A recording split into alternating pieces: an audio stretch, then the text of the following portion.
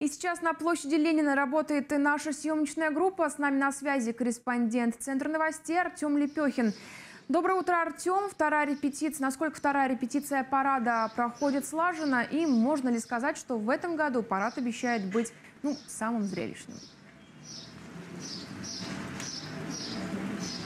Яна, ну, надо сказать, что основная репетиция парада начнется примерно в 10 утра. В 10 часов утра пойдут короткие из военнослужащих и представителей Министерства э, внутренних э, дел. Ну, а в 11, соответственно, пройдет техника. На параде она будет представлена сразу в нескольких единицах. Первая из них, можно сказать, вот АБЭТ. Это бронемашина отечественного производства «Тигр». Она может выдержать э, стрельбу в упор из стрелкового оружия. В целом выполнена как мини-БТР. А если учесть что э, вверх, вверху может устанавливаться вот такая вот пушка, то установка сама по себе выглядит очень мощно.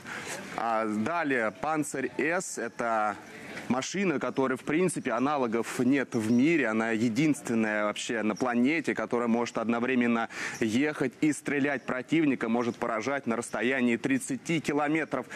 Дальше, ставшие уже легендарными установки С-300 противника могут поражать на расстоянии 300 километров. Понятно, что воздушное пространство в целом может, выглядит безопасно, когда рядом находятся такие сверхмощные машины. Ну, а дальше, если посмотреть туда, вот посмотрите, это ракеты, э, ракеты-мишени «Армавир» и «Пищали», именно по ним установки С-300 и «Панцирь» стреляют во время учений, как правило, Ведут они не всегда порядочно, во многом хаотично, но наши машины всегда их, в общем-то, поражают. Надо сказать, что во время парада самого все эти машины, после того, как пройдут по площади Ленина, дальше развернется выставка на Петровской набережной, где зрители могут э, на них посмотреть, залезть, пофотографироваться. Кроме того, стоит отметить, что впервые на площади Ленина будет организована выставка оружия, легендарного стрелкового оружия времен Великой Отечественной войны,